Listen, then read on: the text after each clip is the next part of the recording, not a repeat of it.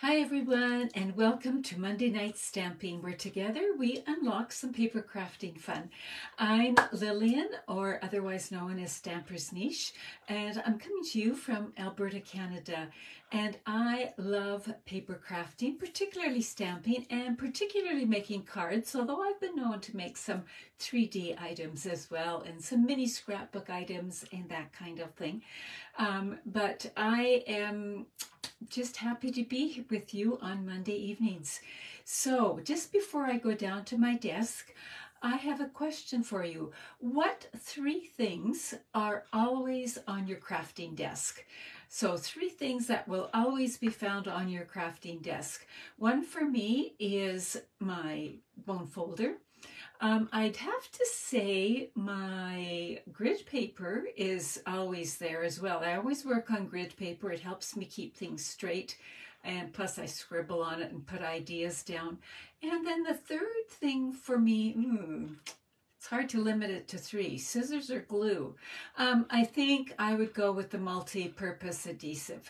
So for me, the three things that are always on my desk, although there's always a lot more, um, are the my bone folder, my grid sheet, and my adhesive. So what things are always on your desk? If you could limit it to only three, what would be the three top items, I guess? So as you're jotting that down, I'm going to go down to my desktop. And as always, I love it if you click that share button or uh, whether you're on YouTube or Facebook and um, if you're on YouTube, do remember to hit that subscribe button too, so you always um, catch what I have. And if there's that little bell there, and if you click on that, you'll get notifications when I post again. All right, just a couple of little things. Paper Pumpkin, March this month is the 10th anniversary of Paper Pumpkin. And so if you sign up before March 10th, you actually get a free gift, an extra little something in your paper pumpkin. So if you go here and subscribe or even just book, uh, get one month, you can get that free little gift. So just a heads up about that so that you know about that. And of course, there's been lots of buzz and excitement about the new online exclusives. So these are items, online exclusives that are only found online, um, partly because it gives Stampin' Up the ability to bring new items in quickly, or if something sells out or goes out of stock, they can quickly adjust it. Our catalogs get printed, I would say, I think I've, I've heard, I believe it's they go to the printers one and a half to two years ahead of time. So if something new and exciting comes on the market in the in the in between time, they don't have a way of getting into the catalog, but they can put it on the in the online uh, uh, offerings. So that's what that's all about. So when you go there, and here's where you can find mine, and I will also do a post about that. If you come across currently unavailable, that just means they're out of stock right now, but more is coming in. If it says no longer available, that means it's not going to be restocked. So this, like so many things, if you, there's something you really want, it's important to order sooner rather than later because you don't know how long it's going to be there. And speaking of that, the in colors, ink refills, there is going to be a color refresh. What that means is some of the colors, well, we know that the 2021 to 23 in colors are leaving, but so are some of the others and some are coming back. So if you have ink pads or paper that you love, especially the ink pads, order them, or ink pads, I mean ink refills, order them sooner, right away in fact, because some are selling out already. So just be aware of that and act appropriately. Now last week, uh, we made this card that was had this was a really neat fun fold with a little gift enclosure so that it was what's inside that was exciting on this card although the outside is nice so when people leave comments either on youtube or here on facebook I put your names in a draw, and the name drawn this time was Nadine, and she was a YouTube viewer. So, um, congratulations, Nadine and we will get that out to you. I do have your address, so we are good to go with that. So just before we start, what's happening here? Just before we start the um, the project tonight, one of the online exclusives that I really wanted to share is this. I've posted about it. It's called the Basics 3D Embossing Folders. Yes, there's an S on it because there are three embossing folders. You can see the picture here.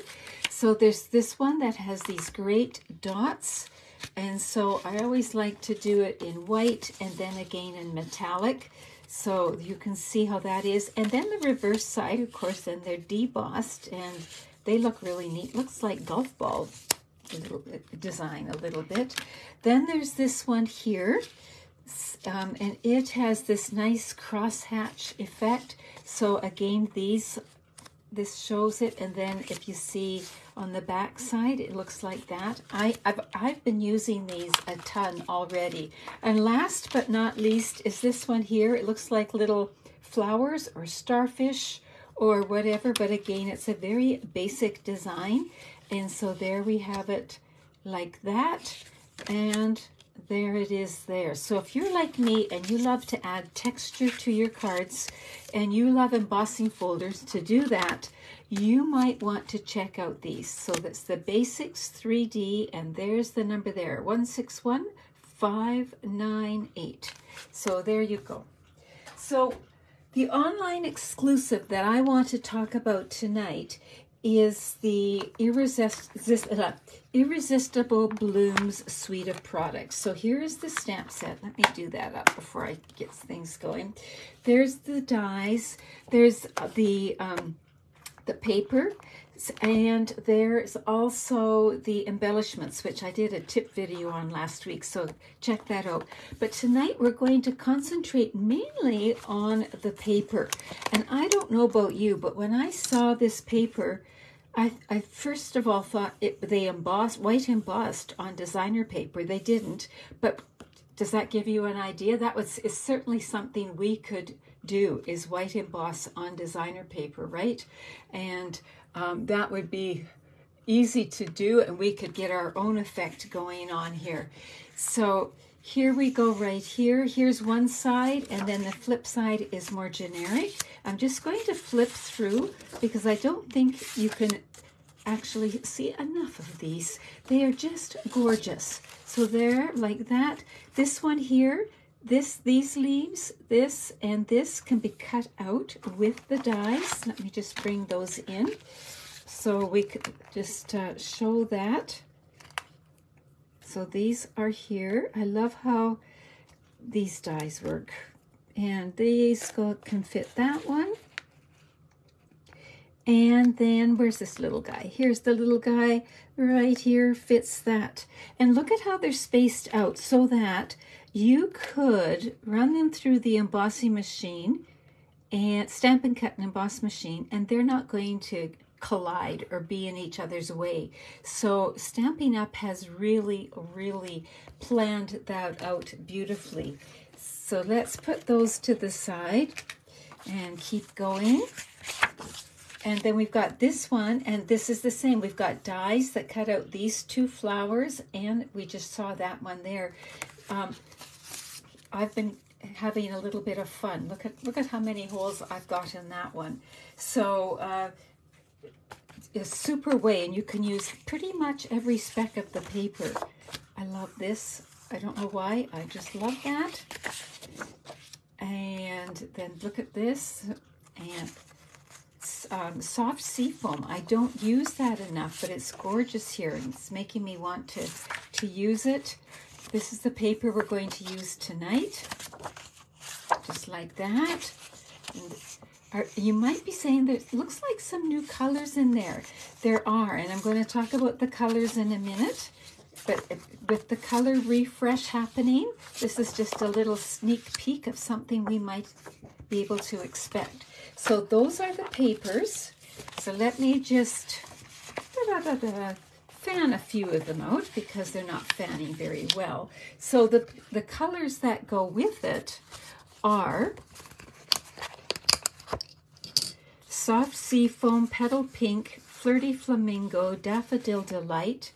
Also, two um, colors that were in colors a few years ago, and that is Pretty Peacock and Lost Lagoon. So you might say, well, we don't have that now. No, but you know, you can sort of get by with Evening Evergreen and Soft Succulent. We're going to go with Soft Succulent tonight. And then, of course, just because these are the colors that go, they're not the only colors. You can bring in all sorts of colors, especially your neutrals, like your basic gray, your basic black, your white, and all of those kinds of things.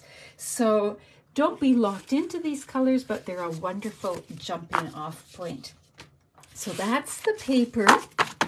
We'll come back to that later. So I initially wasn't going to get this bundle, but do you know what sold me? This die right here, because I have seen so many things from other sources that have a similar die and then this and then I like the leaves and then it just kind of went and then and then and then wonderful fonts great words even has some of my famous splotches so you know how I like to get acquainted, but just before I show you my get acquainted sheet, some of you are asking, will these fit in the mini stamp and cut and emboss machine? So I've got the mini plates here, and yes, they will just fit. This is that this is just fits, but it does fit. So there, that answers that question. And let's look at my get acquainted sheet here. So here it is right here. Look, isn't that gorgeous? And this, uh, and guess what? These are the same size as the loose frosted dots that come with the suite. So these are in different sizes and they match up with with these. So you can add them here, there, and everywhere if you want. Now these are something that's not currently available, but they're going to come back in stock. So don't sweat it, they will be back in stock. But you can see that some are standalone, some cut out stamped images or images from the designer paper, either or, either or and. So this here looks great just as it is. I've seen lots of people cut out little flowers and put them on here so it's like a vine. Same with this, it's like a wreath. You can easily snip these few little spots that it's joined and have then just this this airy little part as a standalone. You can use this, I think, with other things. Can you imagine a butterfly in here or a dragonfly or a little ladybug like that? Or what about some of your animal stamps like this? Wouldn't they just look adorable in there? Um, let me see here. I've got this here. So let's look at if he's poking. Aha, it's so cute. So remember to look at your other things as well so that uh, and mix and match. There, there's always that fun opportunity. You, I just saw someone say it's a really nice bundle. It really is, and it's just so versatile. So that's what we're going to create with tonight, but we're going to make a really easy and quick card. And it's going to be a slimline. So let's first off bring in the paper, and we're going to use white as the base. So it's seven inches by eight and a half, and we're going to score it at three and a half. So with the seven inch, let's just bring this in so you can see. With the seven inch side at the top, we're putting it at three and a half, three and a half, yeah, not three and a quarter, three and a half. We scored, we folded, and now our card front is actually three and a half by eight and a half. That's your goal. Why is that your goal? Because then it will fit in a regular A10 envelope that you might find at a stationery store, but it also will fit in our slimline envelopes, which are so pretty and they would work really well with this. So um, it's you, remember you make your cards fit your envelope unless you're making envelopes yourself. But uh, otherwise, make your card fit your envelope. That was an important lesson I learned when I was a beginner stamper. So we're going to burnish that, and that is going to be our card base. Then we're going to bring in some soft succulent that is three and a quarter by eight and a quarter. So, and that's going to layer right on top like that. So pretty basic, I'll turn it this way so you can see. It's just got the border all the way around. So we're going to take that off. But now when you have six by six paper, how do you make a slimline card? And eh, if you're wanting the paper to layer on top of this. So I took my six by six paper and I cut it in half so it's two three by six so I can get two cards from one six by six. I'm going to tuck this away for another card. We're going to use this. Now there are a couple of things you could do. You could put it at the top and stamp something at the bottom right there. That would be very simple. So let's just see here. Yeah, we could put this at the bottom, add some ribbon around there, and we would, I'm going to raise my camera up a little bit. It just seems to be cutting it off. Um, raise, there we go, sorry. But just seem to be having trouble fitting it all in. I think that should be better. All right. And we could do that. But what's another option? Another option would be to cut this paper. So if we did that, let's just do it. Show, I'll show you how I did my planning. I was I was trying to think, how can I make this? Because we have lots of six by six paper, and how can we make it work? Well, if I put this in the middle and brought this down, that would give the illusion. And so what I did was I measured, so it needs to be at least likely another two inches. So if I did two inches here, and that's how I started to play around. So let's be brave and let's cut off from here. And I forgot to write down what I was going to cut off. But let's just say I was talking about two inches. I'm going to cut two inches off the bottom. There we go. And remember, all these measurements are in my Thursday newsletter. So there we go. Two inches off the bottom. So we have two pieces. Move this to the side.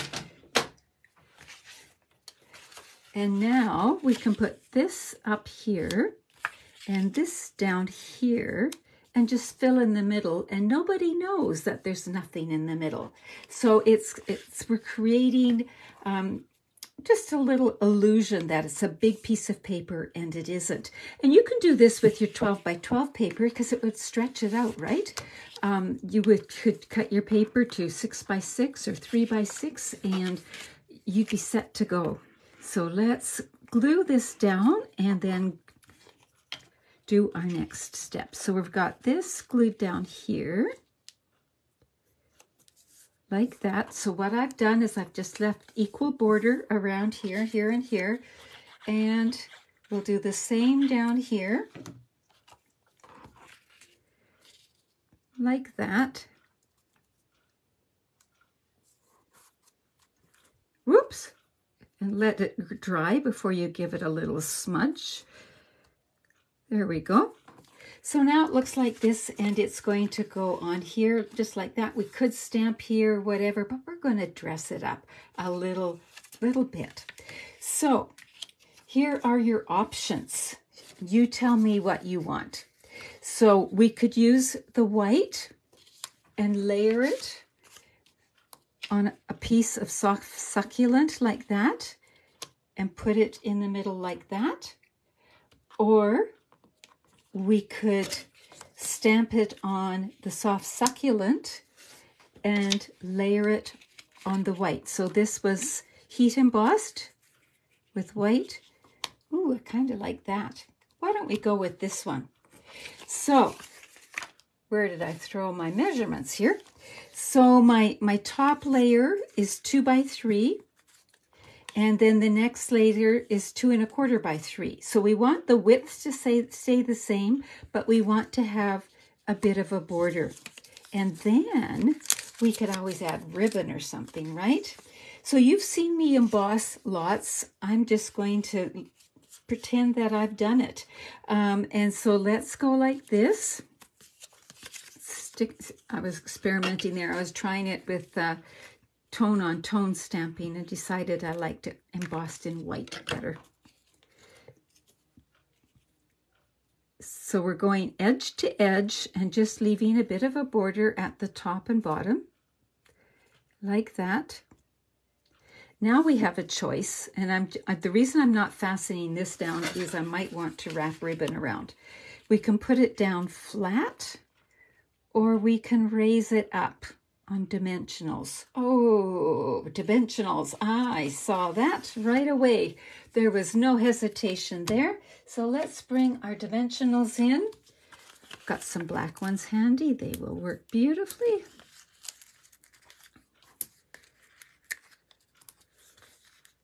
And we'll put some like that. Just tear that off. When I was planning the card, I hadn't thought of dimensionals, but I was just thinking of that as I was talking to you here. So let's see, we'll fill that in. And look at that. It looks like you've got a nice long piece of designer paper and you've got it like that. Now, our options, we could add some ribbon but on dimensionals, I'm not sure we need it. We could add some ribbon.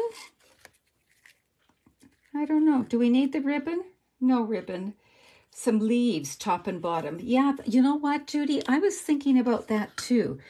Um, so I um, actually stamped with white, with Versamark, and then used white embossing powder and stamped it right on the reverse side of this paper. So what if we could do, I don't know about that, that, and we also have these fun leaves that are open. I wonder if they would look better. So, let's just see. What do you think?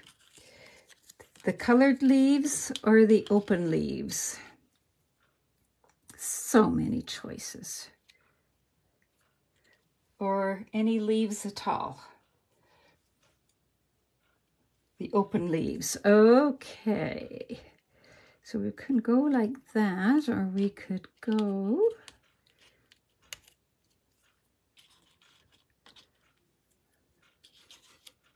That might be overkill.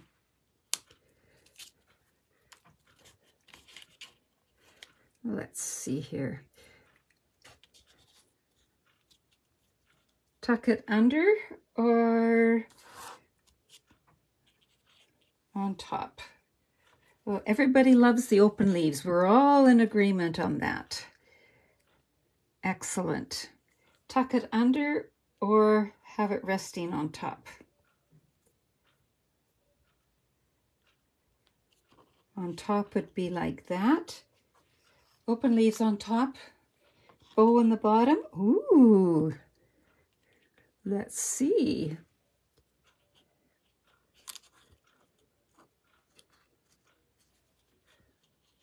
There we go. Let me just try one more thing. Do I want it on top of it or tucked? Um, I think we'll tuck, uh, just because, you know what, it's going to be easier for me. That's the way I'm going here. I'm going to tuck that underneath, put a little adhesive on the end, and tuck it under. And I know I can overlap a little bit because there is a bit of a border yet when we put it on the card front. And the joy of not having put this adhesive right to the edge is that I can tuck things under.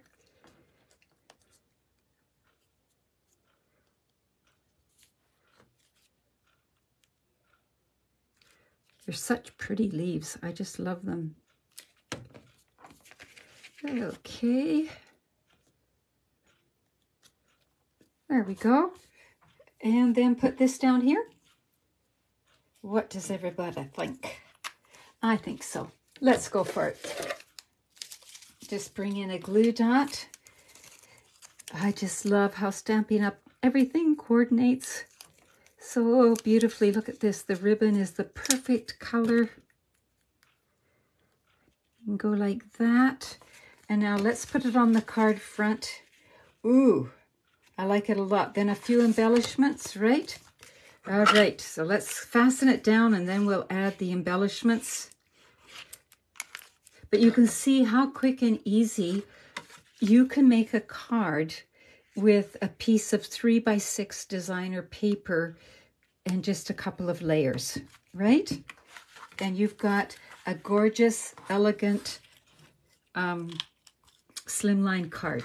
So you might be saying, well, Lillian, if these, these loose frosted dots are out of stock, what can we use? Well, I have a little suggestion for you.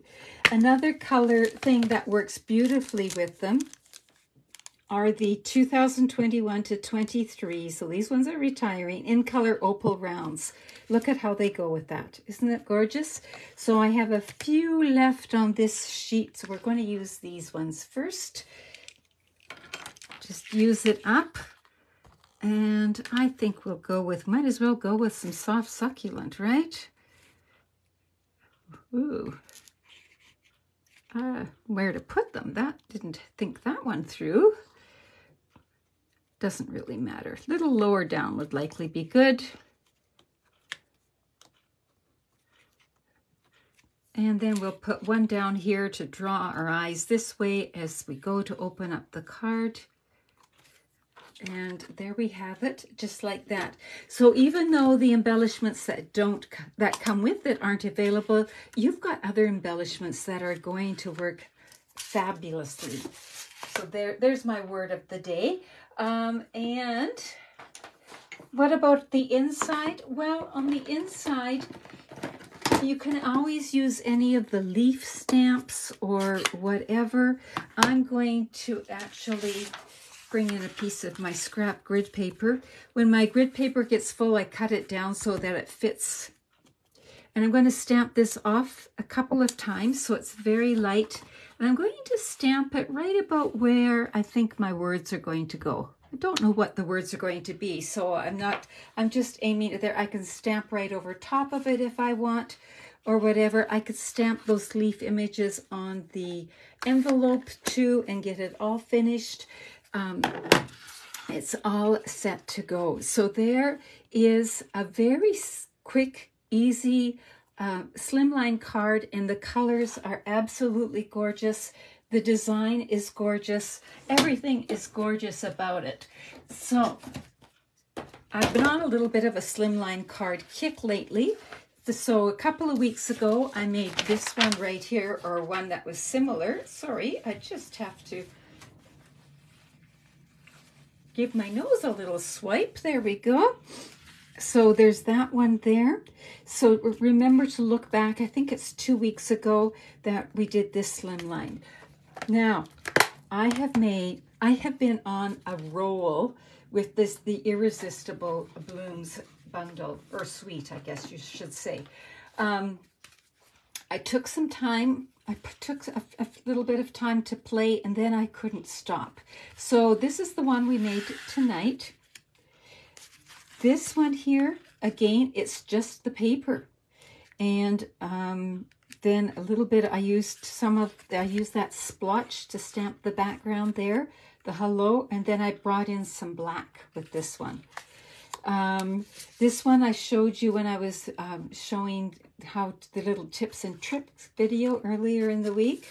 This one here was cased from a demonstrator in the Netherlands so it's using the greens on soft sea foam, which I really need to use more. And it's again just geometric shapes and leaves. This one here is using that pretty paper and just cutting it apart and then adding that wonderful um, trellisy kind of thing. I don't know what to call it.